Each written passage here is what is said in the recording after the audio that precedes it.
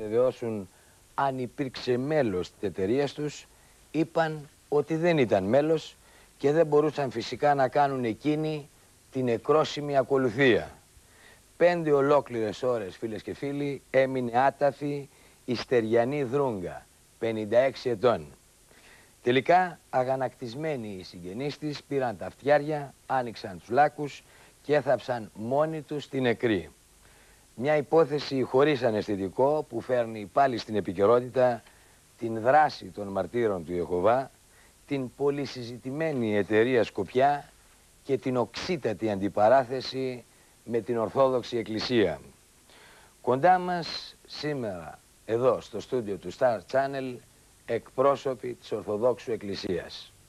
Δυστυχώς οι εκπρόσωποι των μαρτύρων του Ιεχωβά ήλθαν σήμερα στο κανάλι μας, όπως είχαμε συμφωνήσει, κατέβηκαν στο μακιγιάζ, βάφτηκαν, αλλά όταν αντελήφθησαν ότι υπάρχουν και εκπρόσωποι της Ορθοδόξου Εκκλησίας, είπαν εμείς δεν συμμετέχουμε σε μια συζήτηση με τους διώκτες μας. Έτσι είπαν με αυτούς που μας βασανίζουν εδώ και χρόνια. Παρουσία ιερέως εκπροσώπου της Ορθοδόξου Εκκλησίας και μάλιστα εντεταλμένου σε θέματα αιρέσεων, οι εκπρόσωποι των μαρτύρων του Ιεχωβά αρνήθηκαν κυρίες και κύριοι να πάρουν μέρος σε μια ελεύθερη συζήτηση, σε έναν ελεύθερο διάλογο. Θα πάμε όμως τώρα μαζί στη Νέα Μάκρη, στο γεγονός που υπήρξε αφορμή για να κάνουμε αυτή την έρευνα πάλι, την έρευνα για την πολύ συζητημένη εταιρεία Σκοπιά. Να δούμε το ρεπορτάζ στη Νέα Μάκρη.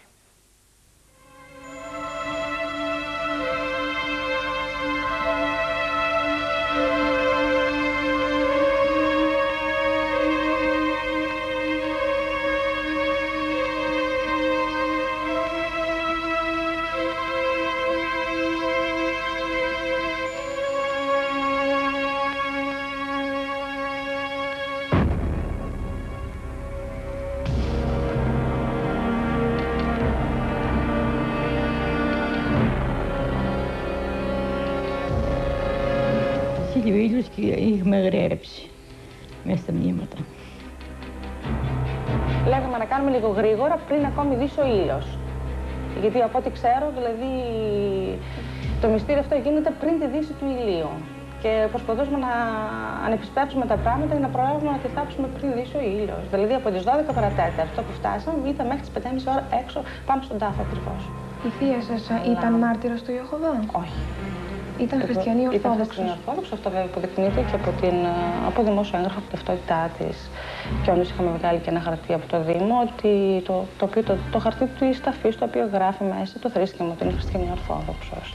Ε, όταν προσκομίσατε το έγγραφο αυτό από το ληξιαρχείο του Δήμου, που πιστοποιούσε ότι η θεία σας ήταν χριστιανή Ορθόδοξος, αρνήθηκαν και πάλι οι ιερείς της Εκκλησίας να προχωρήσουν στην ταφή. Μα βεβαίως. Το... Ήταν ενήμεροι όλοι ότι το χαρτί αυτό του Δήμου έγραφε ότι ήταν χριστιανή Ορθόδοξος. Αλλά ο παπάς αρνιόταν επειδή υπήρχαν αυτές οι υπόνοιες, αυτές οι ενδείξεις, ή κάποιοι, ξέρω εγώ, τους είχαν ενημερώσει που τους είχαν πει ότι ξέρετε, κύριε, αυτή είναι, μα- παρακολουθούσε τι αθροίσεις των μαρτύρων του Γεωκοβά, άρα είναι μάρτυρα του Γεωκοβά. Εμείς αγαπούμε την εκκλησία μας, θέλουμε την εκκλησία μας, θέλουμε τη συμπαράδοση της εκκλησίας. Γιατί εγώ έχω εγγόνια.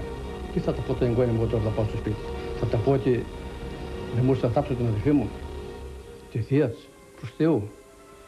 Θέλω η πολιτεία τους κυρίους αυτούς τους παπάδες να τους τιμωρήσει. Ο παπάς της ενορίε είχε υπόνοιες ότι η θεία μου ήταν μάρτυρας του Γεωκοβά και αρνήθηκε να έρθει να τελέσει το μυστήριο αυτό. Ποιοι ήταν οι ιερείς Ε, οι οποίοι αρνήθηκαν Οι να ιερείς οι οποίοι αρνήθηκαν τελέσουν ήταν το ο μυστήριο. Παπα-Νικόλαος, Βασικά ήταν ο Παπα-Νικόλα ο οποίος αρνήθηκε, αλλά δεν ξέρω. Ε, πιο ψηλά από τον Παπα-Νικόλα είναι κάποιοι άλλοι οι οποίοι δώσαν την εντολή στον Παπα-Νικόλα να μην έρθει να τη θάψει για το λόγο του ότι είχαν υπόνοιες ότι ήταν μάρτυρες του Γεωχοβά. Μου είπατε ότι απευθυνθήκατε και στους μάρτυρες του Ιεχωβά όταν πλέον δεν βρίσκατε λύση και Ναι, ανταπόκριση είχαμε- από τους ιερείς ναι, ακριβώς, της Ορθόδοξης α, Εκκλησίας. ναι. Τι σας απάντησαν εκείνοι; Ε, δεν απευθύνθηκα εγώ, απευθ- ε, εγώ η ίδια, απλώς μέσω της ξαδέλφη μου της λέω, βρες το, βρείτε το Η- δικό η σου το κόρη πρεσβύτερο. της, Ναι, ε, η κόρη όπως- της θεία μου. Λέω, βρες το δικό σα τον ιερέα, τον πρεσβύτερο, πώ τον αποκαλείτε, να έρθει και μας τελέσει το μυστήριο. Και... Αλλά τελικά ούτε και εκείνος δέχτηκε να έρθει. Μάλλον ήρθαν μάλλον εκεί πάνω, αλλά δεν μπορούσαν να τελέσουν το μυστήριο, διότι δεν είχαν χαρτί ότι η θεία μου ήταν μάρτυρας στο Ιεχωβά. Εσείς γιατί δεχτήκατε να πάρετε μια τέτοια απόφαση, ενώ η θεία σας δεν ήταν Για μάρτυρες να- του για να Ιεχωβά; γλιτώσουμε όλη την ταλαιπωρία. Είχαμε κουραστεί πια. Δηλαδή, είμαι στα ρηθήματα παθημένοι από τι 1 ώρα το μεσημέρι της Δευτέρας. Είχαμε φτάσει ήδη ε, 2,5 με 3 ώρα της Τρίτης και η νεκρή είχε αρχίσει να αναμυρίζει. Δηλαδή, και ήταν ντροπή να είναι τρεις ώρες πάνω από τον ανοιχτό τάφο. Δηλαδή, είχα δύο ορνήσει. Μία χριστιανική ορθο, ε, από τη δικιά μου στην εκκλησία και μια άρνηση δικιά τους.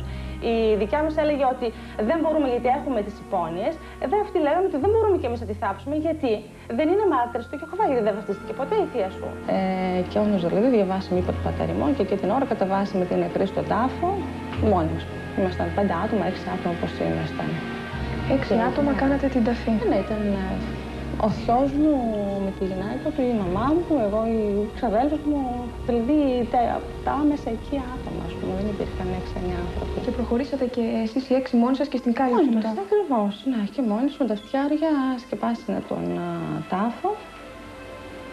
Και όταν πλέον είχαμε τελειώσει και σκεπαστεί ήδη ο τάφος, α, παρουσιάστηκε ο Παπα-Νικόλας με έναν κύριο συνοδεμό μας και με την Παπαδιά, με δύο δηλώσεις του νόμου 105 στο χέρι.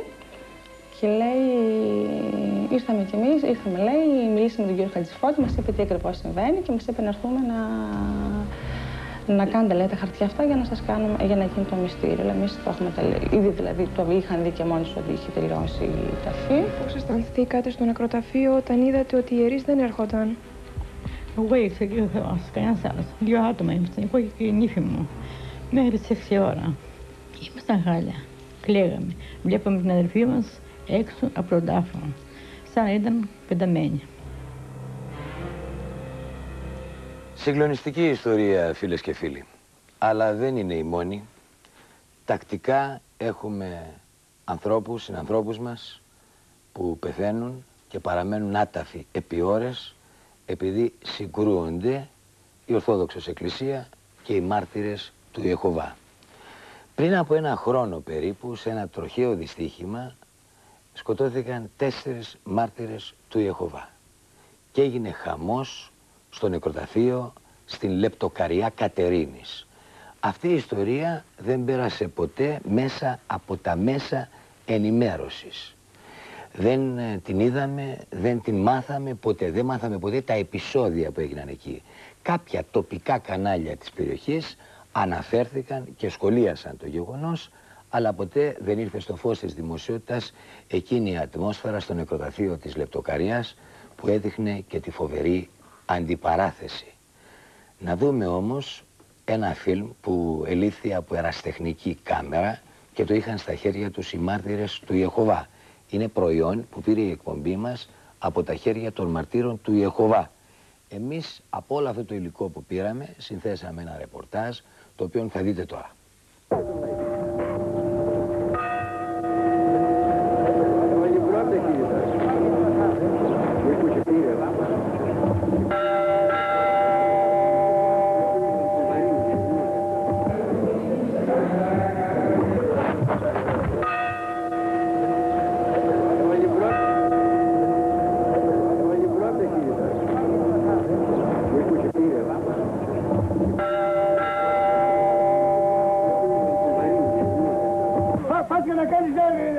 Ε, αντιπαράθεση. Όταν Για που και να- να όταν μην πεις πάλι για υπάρχει, πρόεδρε. όταν Λυπάμαι υπάρχει, πολύ. όταν υπάρχει θύμα, υπάρχει Λυπά- Λυπάμαι πολύ. θα πάρεις θέση. Το, θύ- το Είμαι θύμα, το θύμα, το θύμα είναι είμαι για αυτό που κουβάς. σκοτώνει. Πρέπει Είμαι αυτοί, αυτοί όταν γίνηκαν για Εγώ κουβάδες, ντρέπομαι. Ντρέπομαι δεν να πρέπει να- να κανονίσουν και τα, τα, τα τελευταία τους. Και, και αφού λένε ότι έχουν συγκρούσει δεν ξελέγουν την ανικονομία Μα τους. δεν είναι, παι- είναι κακός ρε παιδιά ρε. Μα γιατί μας διχάζουν. Γιατί μας διχάζουν. Μα είναι ρατσισμός αυτό το ρατσισμό. Θα λέει τώρα, σκέφτεται, θα λέει και τα λέει.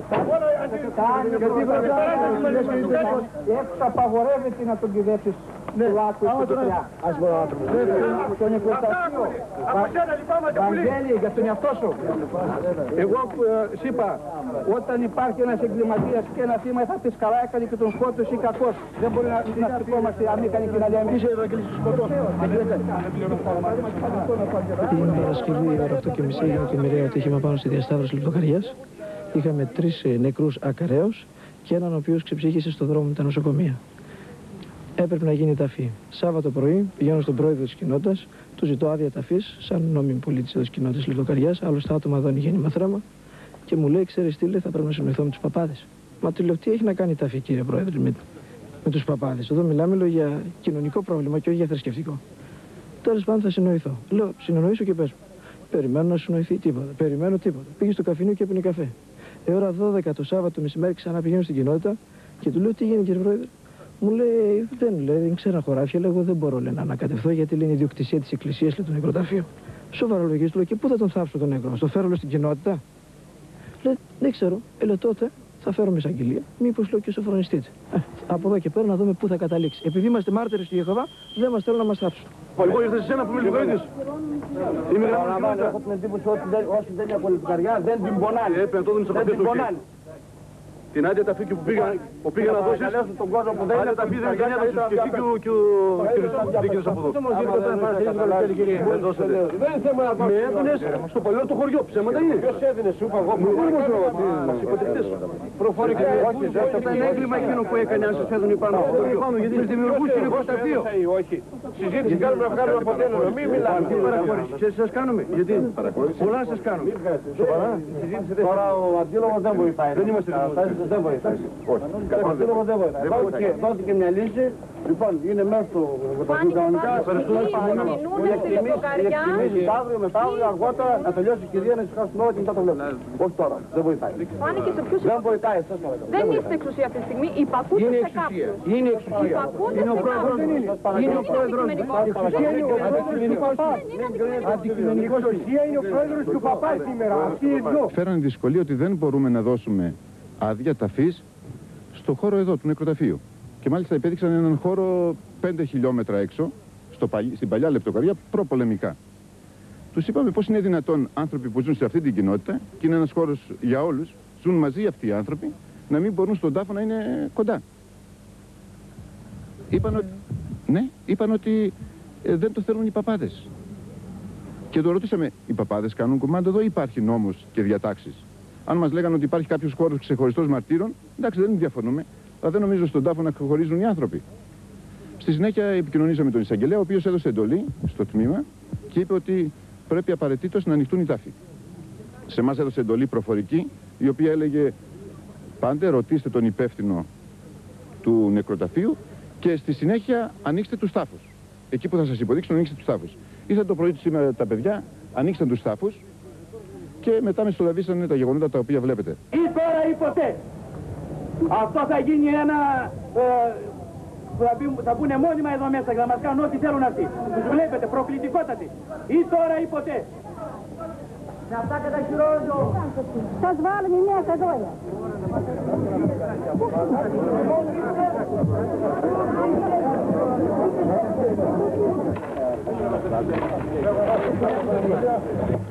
ε.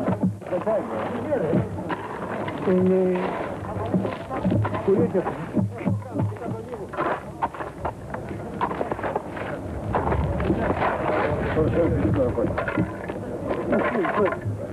Φάνηκε από αυτή την περίπτωση ότι υπάρχουν άτομα δεύτερης κατηγορίας.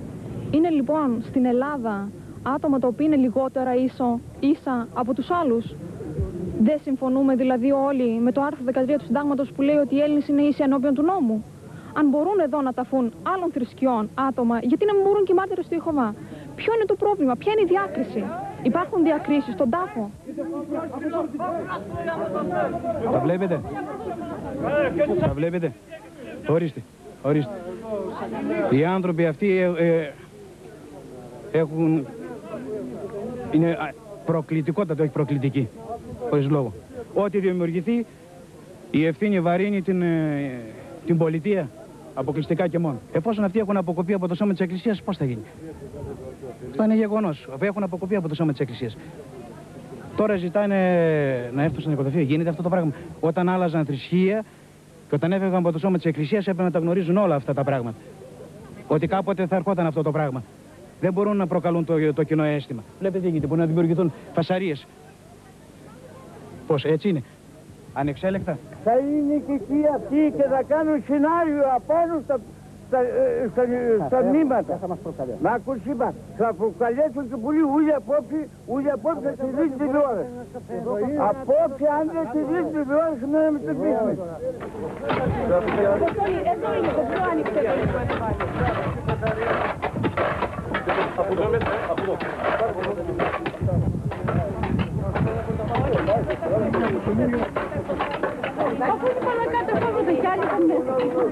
Αυτή τη στιγμή η μεγαλοσύνη της Εκκλησίας, η μεγαλοσύνη της Ορθοδοξίας θα έλεγα ότι αποδεικνύεται και πραγματώνεται περίτρανα.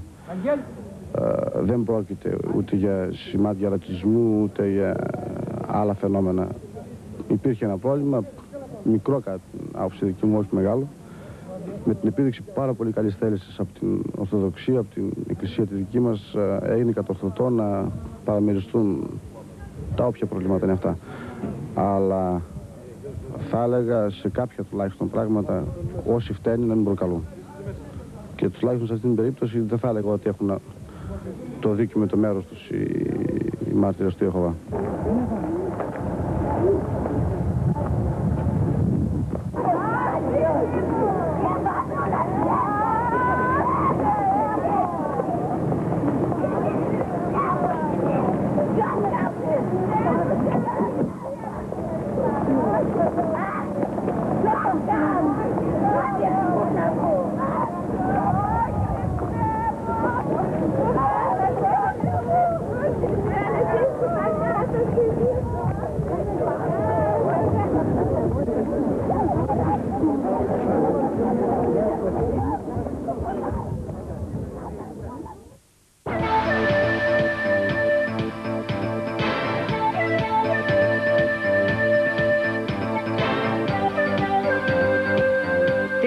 8 Νοεμβρίου, στην εκπομπή του Γιώργου Τράγκα χωρίς αναισθητικό. Για πρώτη φορά η κάμερα μέσα στις φυλακές όπου κρατούνται οι αντιρρησίες συνείδησης. Νέα ντοκουμέντα στην έρευνα για την εταιρεία Σκοπιά και τους μάρτυρες του Ιεχωβά. Τρίτη, 8 Νοεμβρίου, στο χωρίς αναισθητικό, στις 7 και 25 το βράδυ.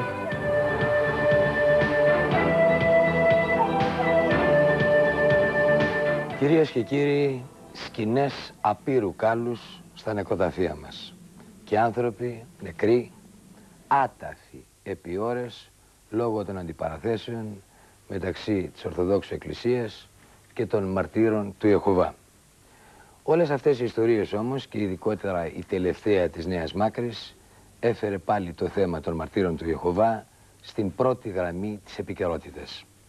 Το ερώτημα, το καυτό ερώτημα που τίθεται κάθε φορά φίλες και φίλοι όταν κουβεντιάζεται το θέμα των μαρτύρων είναι πώς γεννήθηκε η Σκοπιά και αν πίσω της κρύβεται ο Σιωνισμός και η Μασονία.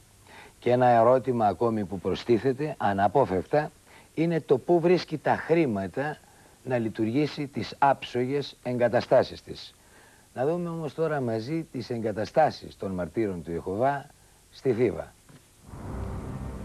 Μία ώρα μακριά από την Αθήνα, στην περιοχή της Θήβας, έχουν εγκαταστήσει εδώ και λίγα χρόνια το στρατηγείο τους. Οι Έλληνες μάρτυρες του Ιεχωβά, οι άνθρωποι που στηρίζουν τα συμφέροντα και τις επιδιώξεις της πολυσυζητημένης εταιρείας Σκοπιά. Το στρατηγείο απλώνεται σε δεκάδες στρέμματα, η αρχιτεκτονική του είναι άψογη και η λειτουργία του στηρίζεται σε εθελοντική εργασία. Τα μέλη της εταιρείας αυτοαποκαλούνται χριστιανοί μάρτυρες του Ιεχωβά. Η Εκκλησία της Ελλάδας όμως εκτοξεύει εναντίον της Σκοπιάς βαρύτατες κατηγορίες και καταγγέλει τα μέλη της για αντιχριστιανική δράση και προσιλητισμό ακόμα και ανήλικων παιδιών. Τα 25.000 ενεργά μέλη της Σκοπιάς είναι απλωμένα σε όλη τη χώρα και μοιράζουν καθημερινά φυλάδια της εταιρείας, ενώ επιδιώκουν να ενημερώσουν και να πείσουν για τις θέσεις της εταιρείας και την πίστη τους στον Ιεχωβά. Τα μέλη της Σκοπιάς αρνούνται μέχρι θανάτου τις μεταγγίσεις αίματος και δεν δέχονται να στρατευτούν και να πάρουν όπλα. Η εταιρεία έχει τη δυνατότητα, την οικονομική δυνατότητα, να λειτουργεί σύγχρονα τυπογραφία στα οποία τυπώνει εκατομμύρια φυλάδια. Πολλοί διερωτώνται για τις σχέσεις της με το παγκόσμιο κέντρο της στις Ηνωμένες Πολιτείες. Στο παρελθόν έχουν διατυπωθεί πολλά ερωτήματα για τις σχέσεις των μαρτύρων του Ιαχωβά με το Σιωνισμό και τη Μασονία. Και αυτό γιατί υπάρχουν θετικές αναφορές διακεκριμένων στελεχών της Σκοπιάς τόσο για τον τεκτονισμό όσο και για τον σιωνισμό. Η Ορθόδοξη Εκκλησία τους κατηγορεί για πνευματική τρομοκρατία και για αντιδημοκρατικές μεθόδους, αφού χωρίζουν τους ανθρώπους σε κεχρισμένους βασιλείς και δούλους. Ακόμα οι μάρτυρες του Ιεχωβά δεν έχουν απαντήσει στα εύλογα ερωτήματα που προέκυψαν όταν τουλάχιστον πέντε φορές σε αυτόν τον αιώνα διαψεύστηκαν οι προφητείες τους για τον ερχομό του περίφημου Αρμαγεδόνα, δηλαδή της συντέλειας του κόσμου. Τα ερωτήματα για αυτή τη διεθνή εταιρεία που έχει εξαπλωθεί σε 231 χώρες είναι αμήλικτα. Πόσο αντέχουν το τεράστιο κόστος της δραστηριότητας και των επενδύσεών τους, οι ίδιοι υποστηρίζουν ότι είναι μια αδελφότητα που το ένα κομμάτι της ενισχύει το άλλο. Ωστόσο το ερώτημα παραμένει. Είναι μια καθαρά θρησκευτική οργάνωση ή μήπως είναι μια πολυεθνική εταιρεία με νεφελώδεις στόχους; Και πώς είναι δυνατόν οι ελάχιστοι ηγέτες αυτής της οργάνωσης να ορίζουν μέχρι θανάτου τη ζωή και τη συμπεριφορά των μελών της; Από την άλλη πλευρά οι μάρτυρες του Ιεχωβά υποστηρίζουν ότι διώκονται για την πίστη τους, υπογραμμίζουν το γεγονός ότι εδώ στην Ελλάδα οι αντιρρησίες συνείδησης οδηγούνται στις φυλακές και στα βασανιστήρια, ενώ σε άλλες χώρες καλούνται να υπηρετήσουν την πατρίδα σε διάφορους τομείς εργασίας. Και υφίστανται όλα αυτά ως αποδοπομπιαίοι τράγοι επειδή δεν θέλουν να προδώσουν την πίστη τους στον Ιεχωβά. Είναι μια καθαρά θρησκευτική οργάνωση κυρίες και κύριοι ή είναι μια πολυεθνική εταιρεία. Το ερώτημα αυτό τίθεται κάθε τόσο. Είχαμε καλέσει στη σημερινή εκπομπή μας εκπροσώπους της Ορθοδόξου Εκκλησίας εντεταλμένους για τα θέματα αιρέσεων και από την άλλη πλευρά φυσικά είχαμε καλέσει εκπροσώπους των μαρτύρων του Ιεχωβά με τους οποίους ήρθαμε σε επαφή και χθες στα, στις κεντρικές εγκαταστάσεις τους στην περιοχή της Θήβας. Δυστυχώς όταν ήρθαν εδώ οι εκπρόσωποι των μαρτύρων του Ιεχωβά πριν από λίγη ώρα, πριν αρχίσει η εκπομπή και αντελήφθησαν την παρουσία του πατέρα Αντώνιου Αλεβιζόπουλου που είναι εντεταλμένος σε θέματα αιρέσεων από την Ορθόδοξο Εκκλησία μας οι εκπρόσωποι των μαρτύρων του Ιεχωβά, να το επαναλάβω, αρνήθηκαν να παραστούν σε αυτόν τον ελεύθερο και ζωντανό διάλογο εδώ στο στούντιο του Star Channel. Μάλιστα ένας από αυτούς μου είπε εγώ αρνούμαι να κουβεντιάσω με τους διώκτες μου, με αυτούς που με βασάνισαν, με αυτούς που με ταλαιπώρησαν. Εγώ του είπα ότι σε έναν ελεύθερο και δημοκρατικό διάλογο δεν έχει σημασία αν αισθάνεσαι ότι απέναντί σου υπήρξε διώκτη σου. Σημασία έχει ότι σε αυτόν τον ελεύθερο διάλογο ακούγονται όλες οι απόψεις και τα επιχειρήματα. Δυστυχώς οι εκπρόσωποι των μαρτύρων του Ιεχωβά επεφυλάκτησαν να έρθουν ίσως αύριο στην αυριανή συνέχεια της εκπομπής αλλά να είναι απέναντι σε έναν εκπρόσωπο της Ορθοδόξου Εκκλησίας ο οποίος θα ανέπτυσε επιχειρήματα δεν δέχθηκαν. Ο καθένας, φίλες και φίλοι, βγάζει τα συμπεράσματά του από αυτή τη στάση την οποία εγώ δεν μπορώ να χαρακτηρίσω και πολύ προσωπική εκτίμηση είναι και πολύ ελεύθερη ή πολύ δημοκρατική ή πολύ υπέρ του διαλόγου. Να καλωσορίσω λοιπόν στο στούντιο του Star Channel τον πατέρα Αντώνιο Αλεβιζόπουλο που είναι εντεταλμένος σε θέματα αιρέσεων από την Ορθόδοξο Εκκλησία μας και τον συνεργάτη του πατέρα Αλεβιζόπουλου, τον κύριο Μινά Αναστασάκη. Σας καλωσορίζουμε εδώ στο στούντιο του Star Channel και το ερώτημα που απευθύνω σε εσάς, πατέρα Αλεβιζόπουλο, είναι η εταιρεία Σκοπιά είναι θρησκευτική οργάνωση ή είναι όπως καταγγέλλεται από την πλευρά της Ορθοδόξου Εκκλησίας και από τα διάφορα βιβλία που έχετε γράψει εσείς πολυεθνική εταιρεία; Ε, επιτρέψτε μου αφού σας ευχαριστήσω για την σημερινή βραδιά και εκφράσω τη λύπη μου διότι ήλπιζα ότι θα έρθουμε σε ένα διάλογο με τους ανθρώπους αυτούς ε, να δηλώσω κάτι ορηματικά ότι δεν δεν δέχομαι τον τίτλο του διώκτου και του βασανιστού των μαρτύρων του Ιεχωβά. Ε, ό,τι έχω κάνει μέχρι σήμερα, ό,τι έχω γράψει, δεν είναι τίποτε άλλο παρά είναι η έκφραση της αγάπης προς τους ανθρώπους αυτούς οι οποίοι έχουν πέσει θύματα μιας ολοκληρωτικής εξαρτήσεως. Πάντοτε κάνω μια διάκριση ανάμεσα στο θήτη και στο θύμα, ουδέποτε κατηγόρησα τους μάρτυρες του Ιεχωβά. Ο εχθρός, ο ο εχθρός των μαρτύρων του Ιεχωβά είναι η εταιρεία Σκοπιά. Έρχομαι τώρα στο ερώτημά σας. Θα μπορούσαμε να απαντήσουμε σε δύο επίπεδα. Καταρχήν στο επίπεδο της ηγεσίας, της κορυφής, το συμπέρασμα το οποίο ε, θα μπορούσαμε να βγάλουμε και δεν το έχω βγάλει μόνο εγώ αλλά ερευνητές σε παγκόσμιο κλίμακα είναι ότι οι άνθρωποι αυτοί δεν έχουν καμία απολύτως σχέση με θρησκεία και θρησκευτικό προβληματισμό. Μιλάω κυρίως για τους ανθρώπους αυτούς της σκληρής οικονομικής εταιρείας Inc. της βιβλικής και φιλαδικής εταιρείας Σκοπιά της Πενσιλβανίας.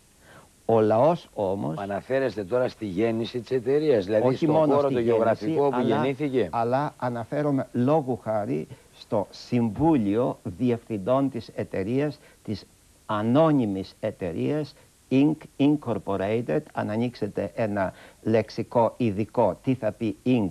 στις Ηνωμένες Πολιτείες, είναι ανώνυμη εταιρεία. Ε, αναφέρομαι σε αυτούς. Αλλά ίσως δεν είναι γνωστό, ίσως δεν το έχουν παρατηρήσει ούτε και οι μάρτυρες του Ιεχωβά, ότι υπάρχουν δύο διαφορετικές εταιρείες με το ίδιο όνομα. Είναι η βιβλική και φιλαδική εταιρεία Σκοπιά της Πενσιλβανίας που είναι μη κερδοσκοπικό σωματείο και είναι και η βιβλική και φιλαδική εταιρεία Σκοπιάς της Νέας Υόρκης που είναι ανώνυμη εταιρεία και στην οποία ανήκουν ε, όλες οι επιχειρήσεις και όλες οι εγκαταστάσεις. Έρχομαι στο ερώτημά σας. Και το τμήμα των Ελλήνων μαρτύρων του Ιεχωβά; Δεν έχει καμία σχέση το τμήμα των Ελλήνων ε, του, του μαρτύρων του Ιεχωβά με τα οικονομικά. Τα οικονομικά είναι ιδιοκτήτης και διαχειριστής η σκληρή οικονομική επιχείρηση Inc. της Νέας Υόρκης. Οι μάρτυρες του Ιεχωβά εδώ ούτε καν είναι μέλη της εταιρείας, ούτε της μιας ούτε της άλλης. Ανήκουν όπως υπονοήσατε και στην αρχή στην τάξη των σκλάβων, των ξυλοκόπων και των νεροκουβαλιτών που δεν έχουν κανένα μα κανένα δικαίωμα στην εταιρεία. Μάλιστα στην Αμερική έγινε και το εξής χαριτωμένο. Ε, μία ε, ομάδα μαρτύρων του Ιεχωβά έφυγε από την εταιρεία όπως και έφυγαν και εκατομμύρια άνθρωποι. Οι οποίοι Μα είναι γεγονός, όμως... με συγχωρείτε, το οποίο αποδέχονται οι μάρτυρες του Ιεχωβά. Δηλαδή λένε ότι και φεύγουν από εμάς και έρχονται. Υπάρχει ένα αλερετούρ στις τάξεις τους. Δεν υποστηρίζουν Ναι, φυσικά, σε καμία περίπτωση φυσικά. ότι Αλλά τα μέλη οι τους παλιοί φεύγουν. παραμένουν, ας πούμε, Ναι, ναι. όλα τα μέλη τους Εν πάση παραμένουν φόρο περιπτώσει- ζωής, Εν ας πάση πούμε, περιπτώσει στην υπήρξε εταιρεία. αυτή η περίπτωση μια ολόκληρη κοινότητα μαρτύρων του Ιεχώβα απεχώρησε από την εταιρεία και πήρε και την αίθουσα βασιλείας στο μεταξύ μαζί. Λοιπόν, πήγαν στα δικαστήρια και την κέρδισαν την αίθουσα της βασιλείας αυτοί οι αποχωρήσαντες επειδή δεν υπήρχε καμία σχέση νομική που να αποδεικνύεται να έχουν αυτοί οι άνθρωποι με την εταιρεία. Ούτε μέλη ήταν ούτε τίποτε, ανήκαν στην τάξη των ξυλοκόπων. Πατέρα, με συγχωρείτε, επειδή ίσως να έχει δημιουργηθεί ένα κενό στους τηλεθεατές μας, με αφορμή τα δύο ρεπορτάζ που κάναμε στη Νέα Μάκρη και το αρχιακό υλικό που πήραμε από τους μάρτυρες του Ιεχωβά για την λεπτοκαριά. Βεβαίως.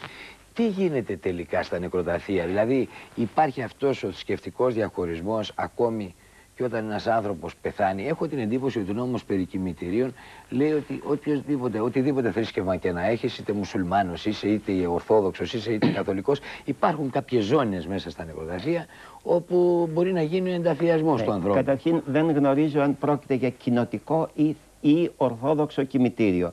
Εν πάση περιπτώσει προσωπική αντίληψη για τα δύο γεγονότα δεν έχω. Εκείνο όμως που μπορώ να πω σε σχέση με το δεύτερο ρεπορτάζ έχω πολύ κακή εμπειρία σε ό,τι αφορά τα ρεπορτάζ που κάνουν οι ίδιοι οι μάρτυρες του Ιεχωβά. Εκείνοι Αλλά θα υποστηρίζουν έλεγα- ότι πρόκειται περί ερασιτέχνη κάμεραμαν. Ναι. Εν πάση περιπτώσει δεν ξέρω το γεγονός, δεν μπορούμε να επιμείνουμε σε αυτό. Εκείνο όμως που θα ήθελα να πω είναι ότι πρέπει να λάβουμε υπόψη μας και την ποιμαντική ευθύνη το τι γίνεται στην περιφέρεια, το γιατί έκανε αυτός ο ιερεύς αυτό και όχι το άλλο.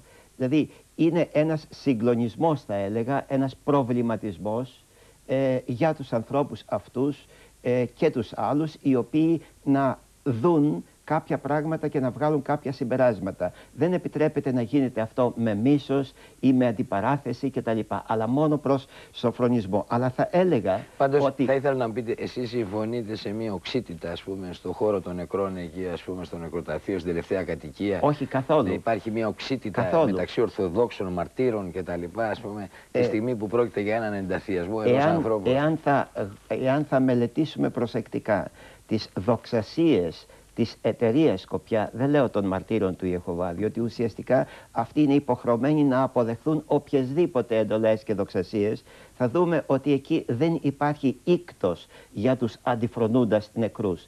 Εκεί αναφέρεται ότι αυτοί δεν αξίζουν κάποιος τιμής, κάποιου ίκτου, κάποια σταφής. Αυτοί προορίζονται για τη σφαγή και μάλιστα εκεί σε έντυπα ενθυμούμε διότι μου έχει Για κάνει τη σφαγή πολύ... μετά τη δεύτερη παρουσία δηλαδή. Ε, για τη... Ναι, δεν θα υπάρξει Για τη λέει, σφαγή μετά τη συντελεία του κόσμου ναι, και ναι, την όχι ε, τη Δευτέρα, παρουσία. Η Δευτέρα παρουσία, κύριε Τράγκα, έχει ήδη συντελεστεί το 1914 κατά τους μάρτυρες του Ιεχωβά. Θα έχει, πάμε σε αυτό, έχει πατέρα εγκαθιδρυθεί Αντώνη, η αν έχετε Βασιλεία. την καλοσύνη. Αλλά εδώ... Θα πάμε σε αυτό. Έχουμε μείνει στο ερώτημα γύρω από το πού βρίσκει τα λεφτά η εταιρεία Σκοπιά και το αν πίσω της κρύβεται ένα ερώτημα που τίθεται συνεχώς ο σιωνισμός, ο Ιουδαϊσμός και η Μασονία. Ε, νομίζω ότι μπορούμε να το πούμε αυτό με αποδεκτικά πλέον στοιχεία. Ε, όπως γνωρίζετε έχω κάνει μια έρευνα 15 χρόνια με βάση γνωστά και άγνωστα στοιχεία. Στο έργο το οποίο εκδόθηκε είναι τρίτομο υπάρχουν αυτά τα στοιχεία τα οποία δημοσιεύονται για πρώτη φορά. Καταρχήν υπάρχουν και στοιχεία που δημοσιεύθηκαν και στη Σκοπιά. Ε, έχω εδώ ένα από αυτά, από τη Σκοπιά του 1955, που λέει καθαρά ότι πρόκειται για μια ιδιωτική επιχείρηση. Μάλιστα, σε αυτό το Ιδρύθηκε σημείο όμως... μια ιδιωτική επιχείρηση. Ακριβώς. Σε αυτό, το Μετοχική σημείο, εταιρεία. σε αυτό το σημείο όμως να παρακολουθήσουμε τι είπε στην εκπομπή μας ένα σημαντικό στέλεχος των μαρτύρων του Ιεχωβά, ο κύριος Βασίλης Δεδότσης. Να το δούμε. Δεν διαψεύδεται βέβαια ότι ο Ρώσελ και ο Ρόδερφο φτιάξανε τους μάρτυρες του Ιεχωβά. Αυτοί ξεκίνησαν. Αυτοί ξεκίνησαν και αργότερα πέρασε και στη χώρα μας όπως πέρασε και σε άλλες χώρες. Ακριβώς. Όχι ότι φτιάξανε. Ε, Εμείς θέλουμε να πιστεύουμε ότι οι ούτε, μάρτυρες του Ιεχωβά ούτε, ούτε διαψεύδεται το γεγονός ότι κατά καιρούς υπάρχουν ντοκουμέντα που ε, θέλουν και τον σιωνισμό και τον τεκτονισμό φύλλα προσκύμενος προς τους μάρτυρες του Όχι. Ιεχωβά. Όχι, όχι. Κύριε Τράκα, κοιτάξτε να δείτε. Υπάρχει μια βρώμικη ιστορία που επί χρόνια παίζεται. Θα επικαλεστώ αυτή τη στιγμή κάποια στοιχεία πολύ συγκλονιστικά. Το 1949, 8 Ινά του 1949, Μήπως θέλετε να διαψεύσετε αυτή τη φωτογραφία εδώ που είναι η Επταμελής Επιτροπή; Με τον Ρόσελ και τον Χολ, το στρατηγό του Πενταγώνου που βοήθησε τους μάρτυρες του Ιεχωβά στην Αμερική. τη διαψεύδουμε. Τη διαψεύδετε, είναι Βέβαια. πλαστή αυτή η φωτογραφία Πλαστή. που κυκλοφορεί. Πλαστή. Σε πλήθος ελληνικών και ξένων βιβλίων. Πλαστή. Και θα σας πω το εξής. Διαψεύδεται το ρόλο του Χολ, του στρατηγού, ότι βοήθησε τους μάρτυρες του Ιεχωβά. Ένας από τους πενταγωνάρχες. Αυτό το δημοσίευμα από πού ακριβώς είναι, για να είμαστε σε θέση να Από το συναμιλήσουμε. βιβλίο του κυρίου Αλεβιζόπουλου. Δεν έχουμε καμία σχέση με αυτό το βιβλίο. Του κυρίου Αλεβιζόπουλου, του πατέρα, ο οποίος έχει ασχοληθεί, κάνει έρευνα και αυτές οι φωτογραφίες δεν νομίζω ότι είναι Όχι, δεν- συνθετικές, δεν είναι δεν, εκ- πλαστές. δεν, ακ- Ρόσελ δεν και εκφράζουν, Χολ, δεν πενταγωνάρχες. εκφράζουν, θέλουμε την πηγή της πληροφορίας. Την πηγή την αυτούσια, Η την original. φωτογραφία, η φωτογραφία αυτή θέλετε να τη διαψεύσετε ότι είναι συνθετική παλαιά φωτογραφία είναι και μάλιστα με Κύριε- παλαιό φωτογραφικό μηχάνημα. Κύριε Τράγκα, επιμένω και προκαλώ. Και- Θέλουμε την πηγή. Σας να μας ρωτάω- πω συγκεκριμένα. Ποια είναι η σας πηγή, γιατί ρωτάω- εγώ θα σας πω το εξής. Ένα, ένα απλό παράδειγμα. Ιδού και άλλο δημοσίευμα, ο Χολ, ο πλέον στενός συνεργάτης του Ρόσελ, που τον συνόδευε σε διάφορες αποστολές και διάφορα Δεν είναι, από ταξίδια, έντυπα, δεν είναι από έντυπα δικά είναι μας αυτό. στρατηγός του Αμερικανικού Πενταγώνου. Δεν είναι από έντυπα δικά μας, επιμένω και πάλι. Ναι, αυτό όμως έχει πάρθει από πηγές αμερικανικές, από Θέλουμε την περιοδικά και original εφημερίδες. πηγή. Θα Τα σας δώσω αμέσως μετά την εκπομπή, αν θέλετε, αντίγραφα. Ε, Αντίγραφα. εμείς το διαψεύδουμε και λέμε ότι αυτά εδώ είναι όχι απλώς φαντασιώσεις, αλλά είναι δολοπλόκα και πανούργα πράγματα και τούτο αποδεικνύεται από το εξής απλό γεγονός. Εγώ θα αναφερθώ σε συγκεκριμένα στοιχεία. Όχι σε... Εγώ θέλω την πηγή. Καταρχάς, εσείς, κύριε Δεδότση, να μου επιτρέψετε, δεν διαψεύδετε τους δύο ιδρυτές, τον Ρόσελ και τον Ρόδερφο, που σύμφωνα με πληροφορίες δικές μου και από πηγές που με ενημέρωσαν γύρω από αυτό το θέμα, εκκλησιαστικές πηγές και άλλες, πανεπιστημιακές πηγές. Και οι δύο είναι ιουδαϊκής καταγωγής. Όχι, εμείς το διαψεύδουμε. Ιουδαϊκής καταγωγής. Όχι, Και από τα ονόματα λίγο Ρόσελ, Ρόδερφο. Ο Ρόσελ ήταν προτεστάτης Ορθόδοξος. Μάλιστα. Και υπάρχουν αποδεικτικά στοιχεία, το Κεντρικό Ισραηλιτικό Συμβούλιο, το οποίο προηγουμένως σας είπα Αυτό κάτι. το κείμενο μήπως το αναγνωρίζετε κατά τον Κάρολο Ρόσελ, μοναδική ελπίδα για ολόκληρο τον κόσμο είναι ο σιωνισμός. Κοιτάξτε το report 1911. έχει δημοσιευθεί στην Αμερική. Κοιτάξτε, εμείς Ε, θέλουμε Εκτός να... αν θέλετε να το διαψεύσετε και να πείτε ότι είναι ένα πλαστό ντοκουμέντο. Είναι δήλωση Ρόσελ ότι η μοναδική ελπίδα στον κόσμο είναι ο σιωνισμός. Κοιτάξτε κάτι κύριε Τράγκα. Εκτός αν το διαψεύδετε και το θεωρείτε πλαστό, Να σας, οπότε πω, να σας πω το εξής, να διευκρινίσω κάτι για να επανέλθει η συζήτηση στο μοτίβο της, στο αρχικό. όχι όταν λέμε χριστιανοί μάρτυρες, Ναι. Και να δούμε επιμένουμε το σε αυτό. θέμα των χριστιανών. Από πού Ακριβώς. ξεκίνησε η εταιρεία Και και, πώς επιμένουμε σε απλώθηκε. Έτσι, γιατί από το χριστιανός μεταπηδήσαμε και πήγαμε πολύ μακριά. Ναι. Εγώ θα επαναλάβω και θα επαναφέρω, θα προσπαθήσω να επαναφέρω ε, κάτι αρχικό που τονίστηκε. Δεν είναι ιδρυτές. Σας το συγγνώμη, πριν ολοκληρώσετε την απάντησή σας και μου τη δώσετε και δούμε και την άποψή σας, άλλη ομιλία του Ρόσελ για τους αδελφούς μασόνους. Κατά το Ρόσελ ο Χριστός ήταν τέκτον, κείμενο αμερικάνικο, διαβάστε, έχει λεπτομέρειες, οπότε μπορείτε να προσφύγετε και στην πηγή να σας τα δώσω όλα. Εντάξει, εγώ θα το Ο ιδρυτής εκτιμούσα. δηλαδή των μαρτύρων του Ιεχωβά λέει εδώ ότι η μοναδική ελπίδα είναι ο σιωνισμός και εδώ κολλάει τους τέκτονες με τον Χριστό και λέει ότι ήταν τέκτονας. Υπάρχει το κείμενο, αν θέλετε και στην Αμερικανική Βιβλιοθήκη, το ψάξαμε. Κοιτάξτε, εγώ προσωπικά ζητώ και πάλι. Ή δυνατόν. Αν είναι πλαστά να τα ψάξουμε Ναι, και να κάνουμε και δύο και επιμένουμε τρεις σε αυτό. εκπομπές. Βρείτε τις πηγές, είναι αμερικάνικες, στην Αμερικανική Βιβλιοθήκη μπορείτε να πάτε. Κύριε Τράγκα, Να σας δώσω επιμένουμε, αντίγραφα. επιμένουμε σε αυτό και επανερχόμαστε στο προηγούμενο σημείο. Αναφέρεστε σε ντοκουμέντα και γεγονότα, ντοκουμέντα σε εισαγωγικά, γιατί Όχι, έχω έγγραφα που έχουν οποία βγει όμως από την εταιρεία σας ή το δεν σωματείο φαίνεται σας. από, ποια βιβλίο, από ποιο Ε, βιβλίο είναι αυτό. Θα σας δώσω αμέσως. Convention Report του 1913, σελίδα 539. Ναι, ποιος το εξέδωσε Θα αυτό, ποιος είναι ο προσφύγουμε- συγγραφέας του; Ναι, είναι από συλλογή ομιλιών και δηλώσεων του Ρόσελ. Ναι, Αυτοί ποιος που το εξέδωσε ασχολήθηκαν δηλαδή με τις ομιλίες, τις διαλέξεις και όλα και τα συγκέντρωσαν, τα έχουν πάρει είτε από βιβλία που έχουν αναφερθεί στη δραστηριότητα των μαρτύρων του Ιεχωβά, θετικά ή αρνητικά, είτε από πηγές πανεπιστημίων ή βιβλιοθηκών. Εγώ θα σας δώσω τα αντίγραφα και εγώ τα πήρα με καλή πίστη από τις πηγές και τις εκκλησιαστικές και τις πανεπιστημιακές. Σας το αποκαλύπτω και εσείς θα τα διασταυρώσετε Πολύ στη ωραία. συνέχεια. Αυτά μας είπε ο κύριος Δεδότσης πριν από μερικούς μήνες. Αυτά απάντησε στα ερωτήματά μας σχετικά με το σιωνισμό, σχετικά με τη μασονία, με τον Ρόσελ και τον Ράδερφορτ. Φίλες και φίλοι, προς αποφυγή παρεξηγήσεων, το υλικό που είχαμε από το νεκροταφείο, από τα επεισόδια στο νεκροταφείο της Λεπτοκαριάς της Κατερίνης ήταν από το τοπικό κανάλι, τον Ερμή. Έτσι για να αποφύγουμε παρεξηγήσεις με συναδέλφους.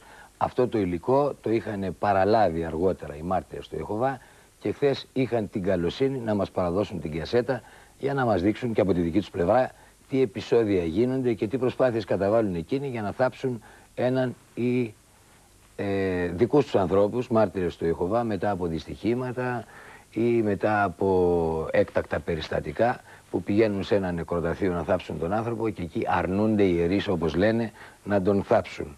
Να πάμε όμως τώρα σε ένα σύντομο διαφημιστικό διάλειμμα και αμέσως μετά συνεχίζουμε τη συζήτησή μας με τον πατέρα Αντώνιο Αλεβιζόπουλο που είναι εντεταλμένος της Ορθοδόξου Εκκλησίας σε θέματα αιρέσεων.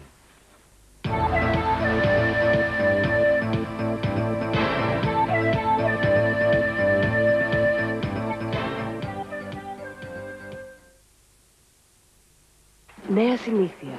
Να την αγαπήσεις, Να τη μοιραστείς. να την αφομοιώσεις, Να την εμπιστευτείς. Supercalifragilisticexpialidocious. να την ξεκοκαλίσεις. Να τη συνηθίσεις. Νέα μεσημβρινή. Νέα συνήθεια. Η Hyundai σβήνει σήμερα κάθε προηγούμενο. Όλοι πουλάνε αυτοκίνητα με χρηματοδότηση. Οι περισσότεροι σας διευκολύνουν με επιτόκιο 2,45%. Δηλαδή στα 3 εκατομμύρια θα πληρώσετε 1.812.000 επιπλέον. Αυτή δεν είναι λύση. Κάποιοι μιλάνε με ύφος για επιτόκιο 1,99%. Δηλαδή 1.481.000 επιπλέον. Ούτε αυτή είναι λύση. Τώρα η Hyundai έχει την απόλυτη πρόταση.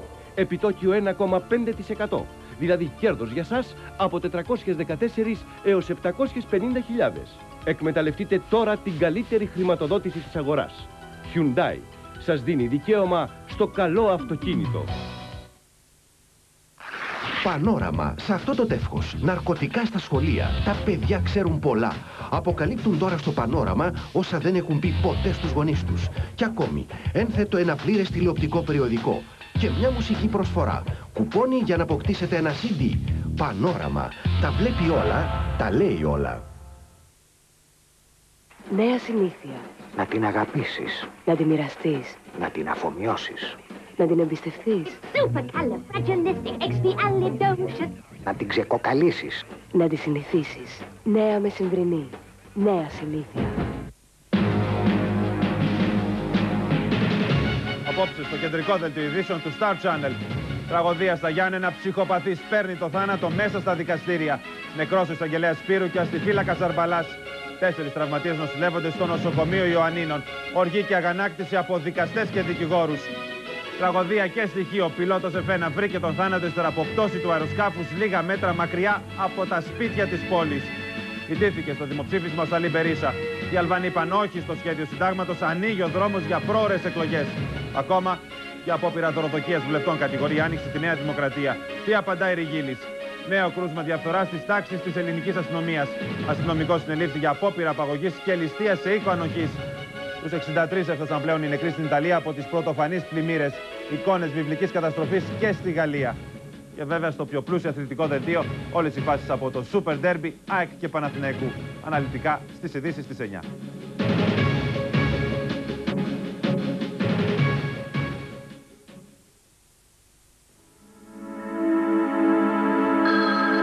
Ένας ξένος στο τηλέφωνο. Κάθε φορά που το τηλέφωνο χτυπά, χτυπά ξανά ο εφιάλτης. Και η ίδια βρίσκεται στο κέντρο του στόχου του. Στο σκοτεινό μυαλό του υπάρχει μόνο η εκδίκηση. Ένας ξένος στο τηλέφωνο. Όταν το τηλέφωνο ξαναχτυπήσει, πρέπει να περιμένει τα πάντα. Κάρολ Κέιν, Charles Durning. Στο Συνιστά της Δευτέρας στις 9.30.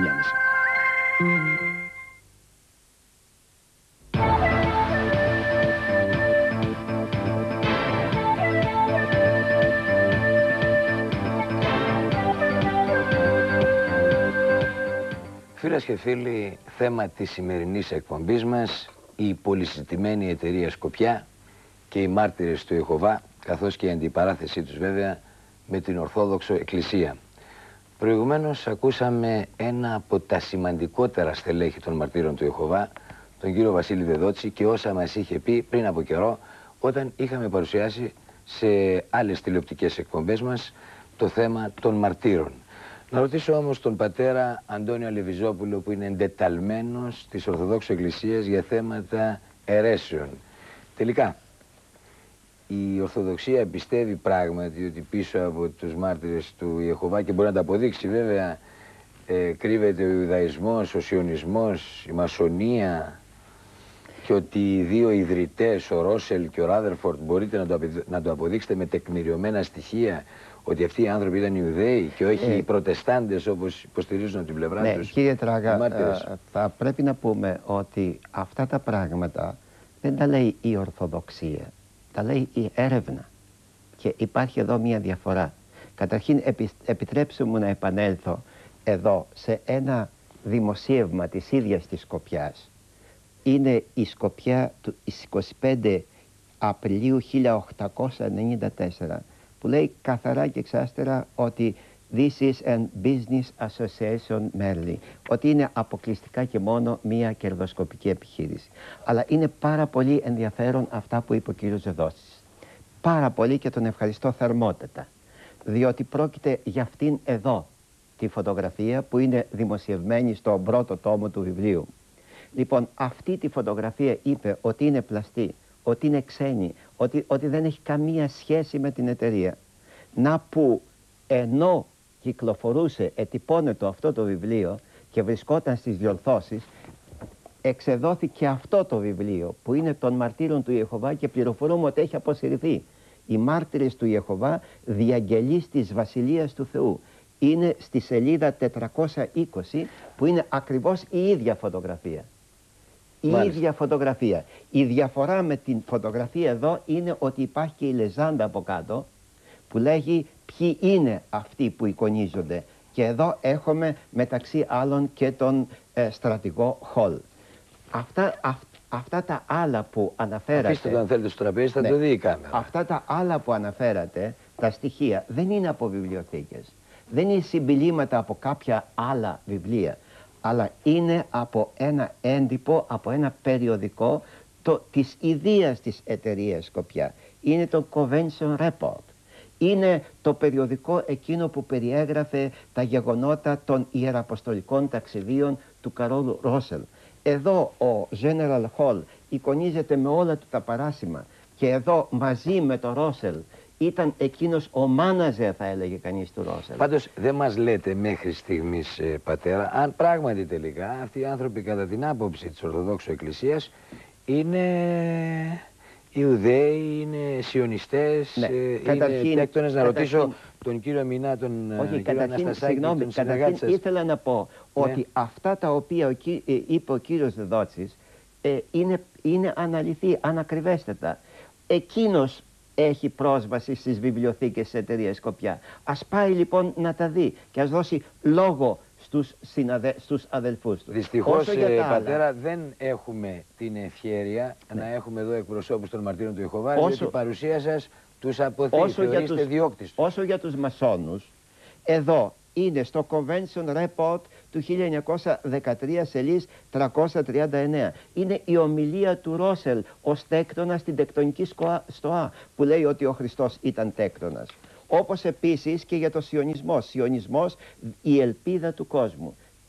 Είναι δημοσιευμένα από τον ίδιο το Ρόσελ. Πάντως Με ο τη μόνη κύριος διαφορά Δεδότσης, ότι όπως είδατε σήμερα- και στη συνομιλία που είχα εγώ μαζί του, αυτά τα πράγματα και τα διαψεύδει, Ε, ας μας αλλά φέρει τα και γνήσια. ζητάει και περισσότερα Ας μας- στοιχεία ας για μας- τις πηγές τους. Ας μας φέρει, εκείνος έχει τις Κύριε πηγές. Αναστασάκη, εσείς. Σε αυτό το βιβλίο της Οργανώσεως των Μαρτύρων του Εχοβά, που έχει τον τίτλο Το Τετελεσμένο Μυστήριο ή Έβδομο Τόμο, ή Έβδομος Τόμος των γραφικών μελετών της Οργανώσεως των Μαρτύρων του Εχοβά, κηρύσσεται η Παγκόσμια Εβραϊκή Κυριαρχία.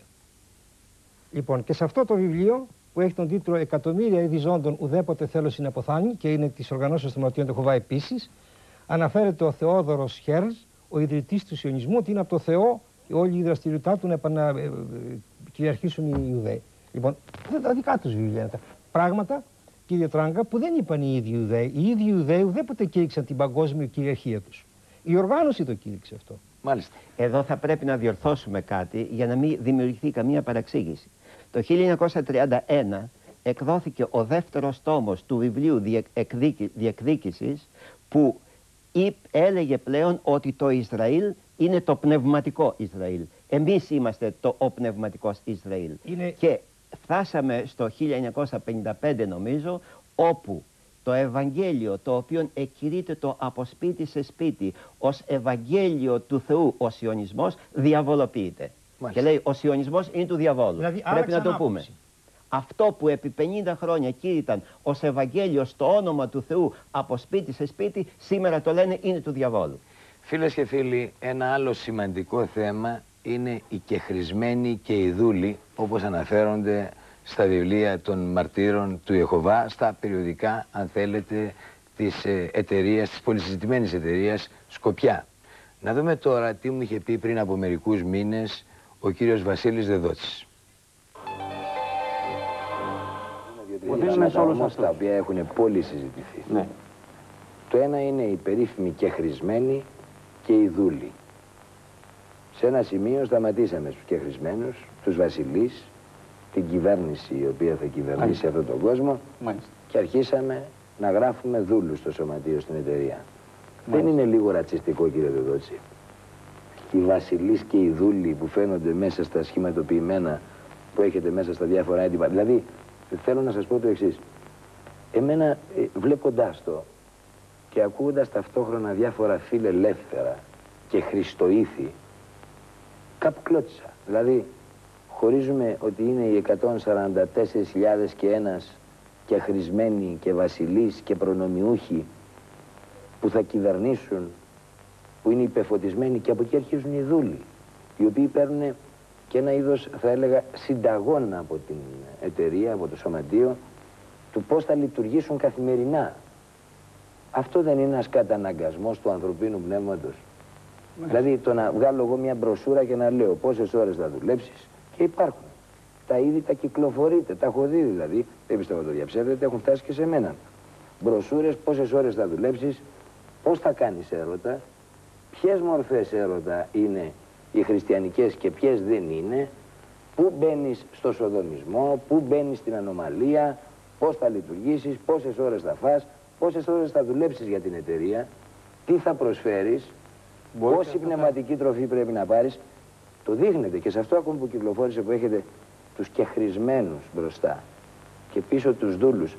Δεν είναι για έναν, ο, σας ακούω τόση ώρα, μιλάτε πολύ ελεύθερα, είναι ένας πνευματικός καταναγκασμός και ένας ρατσισμός σε αυτό το πράγμα; Καταρχήν για όλα αυτά που είπατε, θα παρακαλούσα θερμά να υπάρχουν και τα ανάλογα στοιχεία. Ορίστε παρακαλώ, η κυβέρνηση που θα φέρει τον παράδεισο είναι δική σας έκδοση. Δεν είναι Ασφαλώς, κύριε Δεδότσι. δική μας.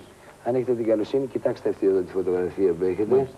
Μπροστά οι κεχρισμένοι και πίσω χιλιάδες δούλοι. Μάλιστα. Ε, ούτε θεολογικά θα μπορούσα εγώ να το ερμηνεύσω, ίσως δεν έχω τις γνώσεις, δεν είμαι θεολόγος, ούτε αν θέλετε από πλευράς Μάλιστα. κοινωνιολογίας, τι να πω, μπροστά οι κεχρισμένοι, πίσω οι δούλοι. Γιατί να διαχωρίζεται μέσα σε ό,τι θέλετε, σε ένα πιστεύω, σε ένα δόγμα, Μάλιστα. θρησκευτικό, σε οτιδήποτε, δεν είναι ρατσιστικό. Κοιτάξτε κύριε Δράγκα, ε, η λέξη που χαρακτηρίζει τους οπαδούς του Χριστού, τους μαθητές του Χριστού, είναι μία και την υπογράφουμε με κεφαλαία γράμματα. Είναι τα λόγια, η δήλωση του ίδιου του Κυρίου μας Ιησού Χριστού, ο οποίος καταδίκασε, καυτηρίασε αυτό ακριβώς που και εσείς προηγουμένως είπατε ότι σας κάνει να κλωτσάει.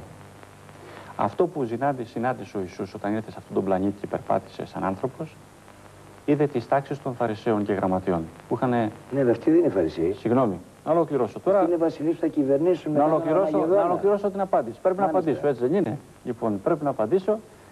Έτσι λοιπόν ο Ιησούς καταδίκασε την ύπαρξη ή το διαχωρισμό σε δούλους και άλλες τάξεις. Στους μάρτυρες του Ιεχωβά η μόνη λέξη που χαρακτηρίζει τους πάντες και τα πάντα, μιλάμε για τη γη τώρα, εδώ, είναι η λέξη αδελφή. Ο Ιησούς Χριστός είπε, πάντα εσείς αδελφοί είστε. Και κοιτάξτε τις λεζάντες. Ναι. Να δείτε ποια φράση χρησιμοποιείτε. Θα έρθω στη Δούλοι, Λεζάντα. λέτε, δούλοι. Θα έρθω στη Λεζάντα. Δούλοι. Θα έρθω στη Λεζάντα. Έτσι, η λέξη αδελφή χαρακτηρίζει όλους τους οπαδούς του Χριστού. Η λέξη αδελφή. Στους μάρτυρες του Ιεχωβά δεν υπάρχουν τάξεις κληρικών και λαϊκών. Όχι. Το ασυζητητή το διαψεύδουμε και προκαλούμε τον οποιοδήποτε να μας πει αν υπάρχουν τάξεις. Δεν υπάρχουν. Δεν υπάρχουν τάξεις ανάμεσά μας. Ούτε κληρική, ούτε λαϊκή. Έτσι, αυτή η κεχρισμένη τάξη δεν είναι απόφθεγμα. Η οποία Ή- σταμάτησε στους 144.000 και ένας. Ωραία. Και το ερώτημα είναι γιατί σταμάτησε. Ωραία, θα σας πω το εξής. Τον αριθμό ή το σταμάτημα οτιδήποτε άλλο δεν το δίνουμε εμείς. Αν θέλετε, υπάρχει δήλωση στην Αγία Γραφή που ξεκάθαρα κάνει το διαχωρισμό αυτόν. Η Αγία Γραφή, το Ευαγγέλιο, έτσι, η Αγία Γραφή λέει ξεκάθαρα για αυτούς τους κεχρισμένους. Δεν το λέμε εμείς. Ένα παράδειγμα απλό. Στην πρώτη χριστιανική Μα έχει εκκλησία, σταματήσει όμως το νούμερο αυτό πριν από 30 χρόνια. στην πρώτη χριστιανική Έτσι εκκλησία, δεν είναι, απαντήστε μου αν θέλετε. Ναι. Οι κεχρισμένοι σταμάτησαν, οι βασιλείς δηλαδή, η νέα κυβέρνηση που θα κυβερνήσει κάποτε μετά τον Αρμαγεδόνα, σταμάτησε πριν από μερικές δεκαετίες, το 144.000 και ένας. Από εδώ Μέσα και σε πέρα αυτούς- γράφει δούλους. Μέσα σε αυτούς τους 144.000, λέει η Γραφή, συμπεριλαμβάνονται οι πρώτοι μαθητές. Όπως στην πρώτη χριστιανική εποχή, αν μπορείτε, αν νομίζετε Και εσείς ο Ρόδερφορντ όμως και ο Ρόσελ και άλλοι κεχρισμένοι που σταματήσανε περίπου το 1930, δεν Θα- κάνω θα λάθος. απαντήσω επ' αυτού. Σταματήσαν να γράφουν βασιλείς και γράφουν δούλους πια. Θα απαντήσω επ' αυτού. Ε, όπως στην πρώτη χριστιανική εποχή, εποχή υπήρχε ένα κυβερνόν σώμα. Υπήρχε μια ομάδα. Αυτοί που έμειναν κοντά στο Χριστό, ανελήφθη ο Ιησούς στους ουρανούς, έμειναν πίσω οι 12 μαθητές του. Αυτοί οι 12 μαθητές είχαν κάποιο είδος ξεχωριστής ευθύνης. Με την έννοια αυτή, εμείς εννοούμε τους συγχρισμένους. Μιλάμε για ευθύνη, όχι για προνόμια υπηρεσίας με την έννοια ότι έχουν τους άλλους κατώτερους υποδέστερους. Για μας οι συγχρισμένοι είναι, μπορώ να πω, υποδείγματα ταπεινοφροσύνης και δεν είναι κεφαλές μας ή δεν καθοδηγούν τον τρόπο ζωής μας. Αντίθετα μπορώ να σας πω αυτή τη στιγμή, αν είναι δυνατόν να συμβαίνει αυτός σε οποιαδήποτε οργάνωση. Λένε για τον Πανίσχυρο, για, το, για τον Πανίσχυρο, ξέρω, ο Ρόσελ, Ρόδερφοδ και Νόρ και τα λοιπά. Όλοι αυτοί πεθάνανε. Πέθανε πρόσφατα και ο Φρέντερικ Φρανζ, ο τέταρτος πρόεδρος της εταιρείας Σκοπιά. Αν υποτεθεί ότι όλοι αυτοί ήταν αρχηγοί μας και ότι από αυτούς εξαρτάται η ιστορία των Μαρτύρων του Ιεχωβά. Εγώ σας λέω, αν σε ένα πολιτικό κόμμα σήμερα πεθάνει κάποιος πολιτικός ηγέτης με όνομα, τι θα συμβεί στο κόμμα; Η ιστορία δείχνει ότι διαλύθηκε το κόμμα. Σε εμάς δεν συμβαίνει αυτό. Να μου επιτρέψετε να σας πω με όλο το θάρρος που Ναι. έχω, ε, η, η σχηματική παράσταση εδώ μεταξύ βασιλέων και δούλων δεν είναι και πολύ χριστιανική. Ο Χριστός είχε άλλη Αυτή η άποψη εικόνα- για τους ανθρώπους. Αυτή η εικόνα, κύριε Τράγκα, αναφέρεται Είναι στο νέο δική σας, κόσμο. δική σας έκδοση. Ναι, αναφέρεται Κοιτάξτε όχι πώς στην βλέπετε το τωρινή νέο, ζωή. αν έχετε την καλοσύνη, κοιτάξτε πώς βλέπετε το νέο κόσμο. Ναι, δεν Μπροστά αναφέρεται. η σοφή, η ανωτέρα τάξη, η βασιλής, η κεχρισμένη, το λέει λέξη που χρησιμοποιείται εδώ. Και πίσω κοιτάξτε εδώ τη μάζα, μαζικοποιημένο όλο το πλήθος Μα αυτό των συνέβαινε, δούλων που αυτό συνέβαινε και ενεγράφησαν. στην πρώτη χριστιανική Δεν εκκλησία. είναι πάντως πολύ χριστιανικό.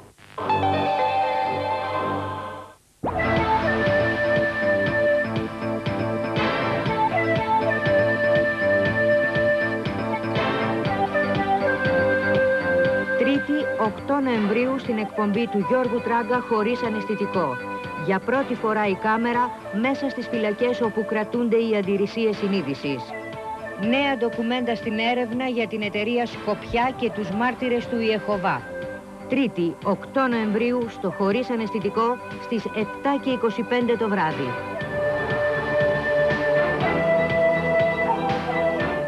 και χρησμένοι και δούλοι. Ένα συγκλονιστικό θέμα φίλες και φίλοι. Ακούσατε τον κύριο Δεδότσι, τι είπε στο χωρίς αναισθητικό. Να ρωτήσω τώρα τον πατέρα Λεβιζόπουλο, τον πατέρα Αντώνιο, τι έχετε εσείς να μας πείτε από τη δική σας πλευρά για τους και χρησμένους και τους δούλους. Που οπωσδήποτε είναι ένα καυτό ερώτημα και είδαμε τον κύριο Δεδότσι πώς το απάντησε, αλλά και γνωρίζουμε πώς το απαντούν γενικότερα οι μάρτυρες του Ιεχωβά. Ε, υπάρχει και ένας άλλος όρος που είναι πιο, ακόμη πιο φρικτός. Αυτή είναι η φωτογραφία που δείξατε, η κεχρισμένη και η δούλη.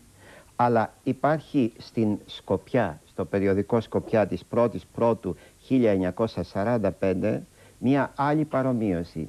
Η, ο λεγόμενος πολύς όχλος ή οι δούλοι εξομοιώνονται με τους Μαδιανίτες εχμαλώτους πολέμου του Μωυσή. Λοιπόν, καταλαβαίνετε τώρα πόσο μακριά πάει το πράγμα. Η, δι- η δευτέρα τάξη, η κατώτερη τάξη, δεν τους αναγνωρίζουν το δικαίωμα να είναι παιδιά του Θεού. Δεν τους αναγνωρίζουν το δικαίωμα να συμμετάσχουν στο δείπνο. Και μάλιστα τους χαρακτηρίζουν σαν εγγόνια του Θεού.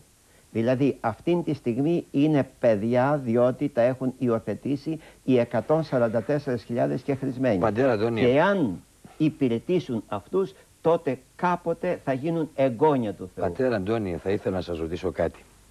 Η Ορθόδοξος Εκκλησία έχει πολλά επιχειρήματα και εσείς έχετε γράψει μια σειρά από βιβλία για τον πνευματικό καταναγκασμό που επιβάλλει η εταιρεία Σκοπιά στα μέλη της. Θα ήθελα όμως από την άλλη πλευρά ως ιερέας και ως ε, ε, κοινωνός της αγάπης να μου πείτε το εξής πράγμα. Οι άνθρωποι αυτοί υποστηρίζουν ότι διώκονται σε ένα καθεστώς όπου επικρατεί ανεξιθρησκεία. Το Σύνταγμά μας επιβάλλει την ανεξιθρησκεία, την ελευθερία του λόγου, την ελευθερία όλων των θρησκειών. Έρχονται λοιπόν αυτοί κάθε τόσο με διάφορα παραδείγματα, όπως τα νεκροταφεία αυτό που είδαμε στην αρχή της εκπομπής, τι, αν θέλετε τη συγκλονιστική αντιπαράθεση την οποία και εσείς αποκηρύξατε εμέσως πλην σαφώς νομίζω. Ε, έρχονται λοιπόν και λένε ότι η Ορθόδοξη Εκκλησία υπερβάλλει και τους διώκει. Τους διώκει την ελευθερία του λόγου, τους διώκει την επαφή με τον κόσμο, ε, δημιουργεί καταστάσεις στα θέματα των αντιρρησιών συνείδησης. Βέβαια εκεί είναι άλλο το θέμα μεγάλο, θα το εξετάσουμε αύριο. Πολύ μεγάλο θέμα. Εσείς πέστε μου από τη δική σας πλευρά, βρίσκετε ότι κάπου αυτοί οι άνθρωποι ενδεχομένως να έχουν ε, κάποιο δίκιο σε θέματα, ας πούμε, ότι έρχονται σε σύγκρουση με την επικρατούσα θρησκεία μας, με την εκκλησία μας. Εδώ πρόκειται, όπως πολύ καλά είπατε, για στοιχειώδη ανθρώπινα δικαιώματα. Λοιπόν, εάν Αυτό θα επικαλούνται πάρουμε- οι, οι ε, κύριοι αυτοί όλοι. Όλοι οι εάν μάρτυρες θα- του Ιεχωβά εάν- επικαλούνται εάν τα θα ανθρώπινα πάρουμε δικαιώματα. Όλα τα ανθρώπινα δικαιώματα, τα ατομικά δικαιώματα, όπως είναι κατοχυρωμένα στο άρθρο 9 του Συμβάσεως της Ρώμης, στο άρθρο 13 του Συντάγματος κτλ.